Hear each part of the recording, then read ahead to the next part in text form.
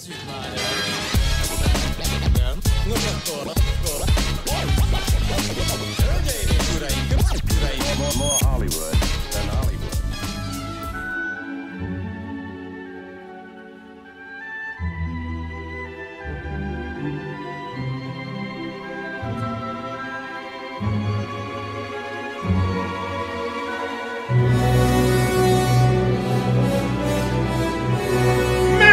Volt ez? Jó napot kívánok, hölgyeim és uraim, ez itt a Hollywood hírügynökség, és most, hogy eljött 2022, beszéljünk egy kicsit a megújulásról. Mai filmünk a Matrix 4 feltámadás, és ebből a címből könnyen kiolvasható, hogy ami itt szeretne zajolni, az egy megújulás, egy újrakezdés és egy különbkor kezdete. Ami itt történt viszont minden nemes vágy ellenére, az egy totális és komplett filmművészeti katasztrófa. Ez a film olyan mocsok rossz, mint egy szarapárolt brokkoli. És nem az a közúti katasztrófa féle rossz, ami mellett az ember ugye lelassít, mert azért végig csak valahogy érdekli ez az ilyen véres tragédia. Nem, ez az a fajta rossz, amikor ülsz az étteremben, és a melletted lévő asztalnál egy pár éppen szakít egymással, és a csaj feldühödve felpattan, és felhangon elkezdi sorolni, hogy milyen fajta módon és milyen dimenziók alapján kicsi a pénisz, és te csak ott ülsz anyáddal szemben, akit elhívtál egy anyák napi vacsorára, és végtelen kényelmetlenségetekben együtt karöltve folytok az asztal alá a képtelen kínosság elől menekülvén. Sweet Chocolate Jesus, ez borzasztó lett, úgyhogy most vegyük végig, hogy miért, és zárjuk egy fontos tanulsággal a videót, ami esetleg megsegíthet minket, az új év új küzdelmeinek hadszinterén. Kapja be a Warner Brothers! Ennek a filmnek az első 20 perce arról szól, hogy Neo visszatért a Matrixba, ahol egy menő számítógép játék programozó lett, érted? És a kiadója éppen arra kényszeríti, hogy alkossa meg az új Matrix játéktrilógiát. Érted? És a játékkiadó cég, aki kényszeríti, azzal a névvel rendelkezik, hogy Warner Brothers. Érted? Finom, finom, Finom utalás, nagyon, nagyon finom utalás. Igen, ez egy egyenes üzenet arról, hogy a Warner Brothers nagy valószínűséggel, bár nem nyilvánosan, de közölte az alkotókkal, hogy vagy velük, vagy nélkülük, de lesz új Matrix film. Ezért pedig a rezidens Wachowski valószínűleg beleírta a forgatókönyvbe ezt a konfliktust. De miért? Roppant kínos nézni ezt a jelenetsort, és igen, metának meta, de csak azért, mert kikacsingat a nézők felé, még nem lesz okos, érdekes vagy kevésbé kicsinyes. Képzeljétek el, hogyha ez a kritika azzal kezdődne, hogy jó, elődzegy azzal a kritika, az e- jól elkezdi ez mi? Déjà vu. Kapja be a Warner Brothers! Ennek a filmnek az első 20 perce arról szól, hogy Neo visszatért a Matrixba, ahol egy menő számítógép játék programozó lett, érted? És a kiadója éppen arra kényszeríti, hogy miért hagytál el, Juli? Csak, csak azért, mert nem vagyok egy epic gamer? Mert, ne, mert, mert nem vagyok funny Fortnite Dances 26, hm? Ez nem volt igazán pokchamp tőled, Júlia! De Oké. Okay. Minden kényelmetlen bekezdés után akkor el is indul a film, amiben a valós világ új katonái visszaszerzik Neót a játékfejlesztésből, és együtt próbálják Trinity-t is visszacsábítani a valóságba, mert ők ketten össze vannak kapcsolva, de nem lesz könnyű, mert Trinitynek már van egy új férje és gyerekei, és vajon emlékezni fog Neóra? És a különböző titkos erők, akik azon dolgoznak, hogy ők sose lehessenek egymáséi, azok sikerre fog... Ez egy romantikus komédia. Ez egy romantikus komédia. Félreértés ne essék, csak azért, mert valamiben van romantika és komédia, még nem lesz romantikus komédia, de itt majdnem minden alá van rendelve ennek a szálnak, és a szerkezete rettenetesen hasonlít forgatókönyvírás szintjén is a 90-es, korai 2000-es évek romantikus komédiáira. Csak vannak benne ilyen sci-fi elemek, tehát ez, ez nem a notebook, ez a notebook. Van egy vicc a filmben, ami arról szól, hogy Neo már öreg, és ezért nem tudja felállítani a repülési képességét.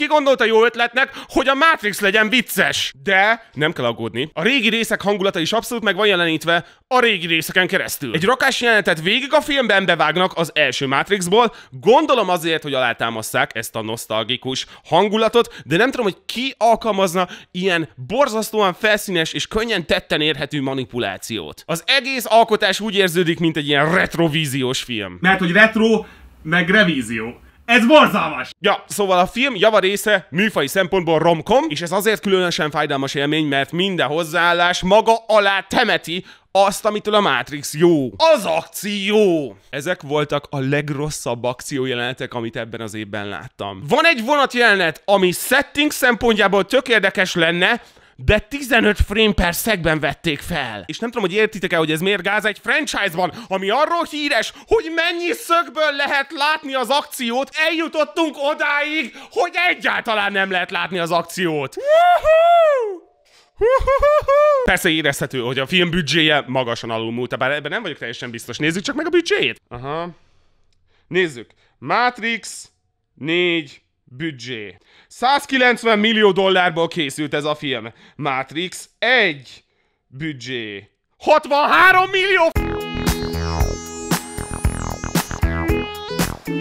Oké, okay, lehet, hogy most már sokkal-sokkal-sokkal drágább mindenfajta CGI, meg ilyesmi, de még ha el is fogyott a pénzetek arra, hogy kifejezetten kreatív, izgalmasan Matrixos akciójelenteket forgassatok, ez a film egy darab millió dollárból készült. Ez a film. Ez a film rohadtul nincs arra kifogás, hogy a Matrix nem csak hogy előre, de két hátra szaltóval visszafelé fejlődött akció szintjén. Nem baj, mert ezek mellett ott van a világépítés. A Matrix másik nagy eleme, ami miatt nem csak szerethető, de korszakalkotó volt, az a kreatív ötletek által vezérelt világalkotás. És az a durva, hogy ezen a téren ez a film se nagyon szar. Amikor éppen nem a szerelmi történetben tapicskolunk, mint valami májva cukros pocsolyában, egy rokat remek ötlettel gazdagítják a Matrix világát. Amióta utoljára jártunk ebben a franchise-ban, az emberek és a robotok egy része kibékült egymással, és megpróbálnak létrehozni egy ilyen együttélést. Izgi! A Matrixban lévő programok most már át tudnak lépni a valóságba egy ilyen mágneses 3D nyomtatott rendszeren keresztül. Cool! Egy hosszan tartó diskurzus folyik arról, hogy mi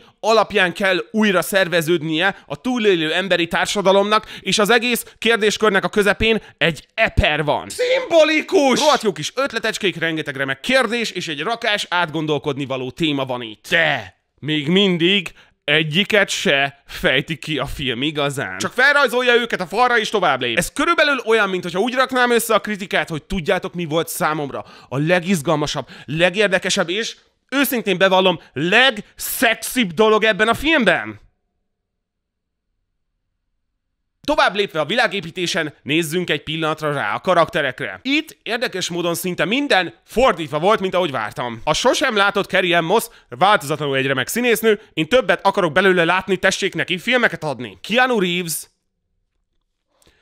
én a félbokámat adnám azért, hogy annyira jó színész legyen, mint amennyire jó embernek tűnik. De ebben a filmben egészen borzasztó alakítást hoz. Szerelgetik jobbra-balra, mint egy szenilis öregembert, motyogott és dadogott, az egész borzasztóan kényelmetlen volt. Az új Smith ügynök vicces és szexi, és nem Smith ügynök. Neil Patrick Harris kifogástanul alakította Neil Patrick Harris. Lawrence Fishburne nem szerepelt ebben a filmben, amit három ember nem ért, Lawrence Fishburne, én és az ismert és ismeretlen univerzum teljes lakossága. Kaptunk viszont helyette Mickey Mouse Morpheus-t. Ilyen menő volt, és laza, és vicces, és street, és mondtam már, hogy ez egy romantikus komédia.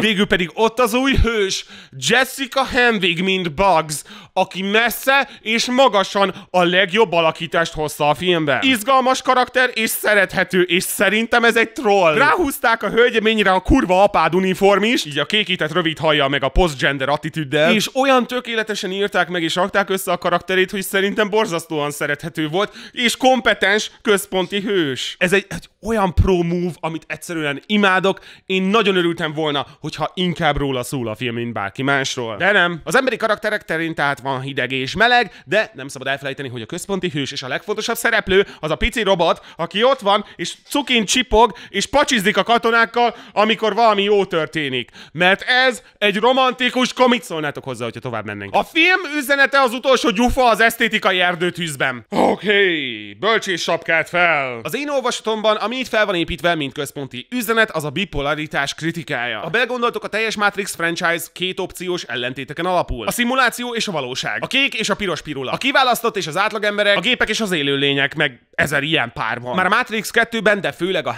3-ban érte valamennyi dekonstrukció ezt a bipoláris világszemléletet, de most arra kerekperecki lett mondva, hogy ez a sarkított, non-inkluzív bipolaritásra épülő világszemlélet rossz. A világ nem fekete és fehér. Na most sok mindenre rá lehet vetíteni ezt az állásfoglalást. Politikai nézetek, szexualitás, identitás, filozófia vagy döntéshozási illúzió. Na most ez az utóbbi kettő, ez meg is van jelenítve a filmben, és ez nekem baromira tetszik. A Matrix franchise kitartóan próbál szólni valamiről, ami nekem a kedvenc hozzáállásom filmgyártás terén, és szerintem most is mind tanulhatunk tőle valamit. Akármennyire is szeretnénk magunk köré csavarni a két opciós világrendszer hamis biztonságérzetet nyújtó lepedőjét, szinte soha nem az a helyzet, hogy valami vagy ez, vagy az. És ez cool. Ez egy nagyon izgalmas téma, ez egy nagyon fontos tanulság, viszont van vele egy nagy gond. A film megnézése után nem ez marad bennünk. Mert a film olyan döbbenetesen inkompetensen van összerakva, annyira minősítetetlenül B-kategóriás, hogy nem a saját üzenetét küldi velünk haza, hanem a szomorú tanulságát.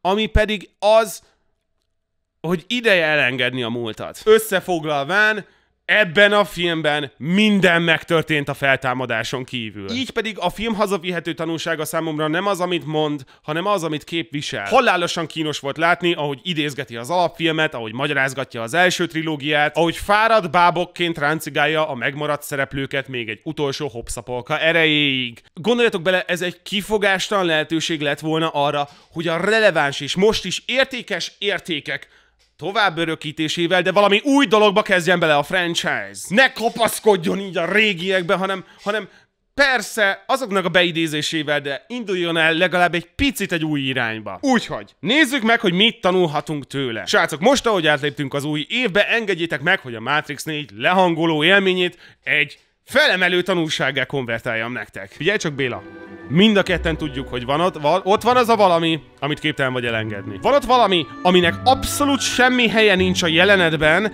de te mégis egyfajta ilyen pánikszerű szorítással kapaszkodsz bele egy elévült lelki láncon lengedezve. Ott van az, és enged el mert olyan leszel, mint a Matrix 4. Az előtted álló, félelmetes lehetőségekkel nem élve, változatlanul ott a köz a múlt és a jövő határán. Eljött az idő, eljött az év, engedd el, és figyeld meg, hogy milyen király dolgok jönnek a helyébe. De most két lehetőség van. Hogyha ez a horoszkóp monológ nem mondott neked semmit, akkor cool. Carry on my wayward son. Viszont, hogyha valami eszedbe jutott közben, akkor igen, persze, hogy arra gondoltam. Igen arra. Nos, hölgyeim és uraim, ennyi volt a mai filmünk, de nagyon fontos hírek. Itt van 2022, és te még nem tudsz ollizni, ami borzasztóan kínos, és én elkezdtek letagadni. Úgyhogy ezt muszáj megoldanunk. AFK-n fent az Olli tanító videó, amit borzasztóan szórakoztatóan a saját nappalimba vettem föl, boka sérültem. És mégis tök jó lett, nézzetek rá! Mindezek mellett pedig az előző szavazáson YouTube-on kb. ugyanannyian szavaztátok meg ezt a filmet, mint a Ne néz felt, úgyhogy az lesz a következő. Úgyhogy addig is, én Szirmai Gergely voltam, nem sokára újra találkozunk, szevasztok!